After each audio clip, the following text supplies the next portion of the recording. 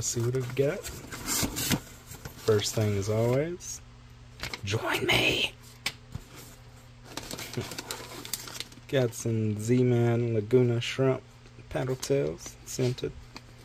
Be for our Jacksonville trip coming up. I think all of this will be actually, but uh, two packs of Trout Eye 3 16 jig heads.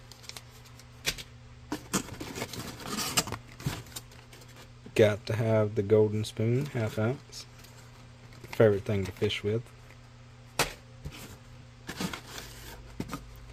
And the Heddon Super Spook. Bone color. Three saltwater treble hooks. Been excited to try this out. Want to see how good it does down in Jacksonville.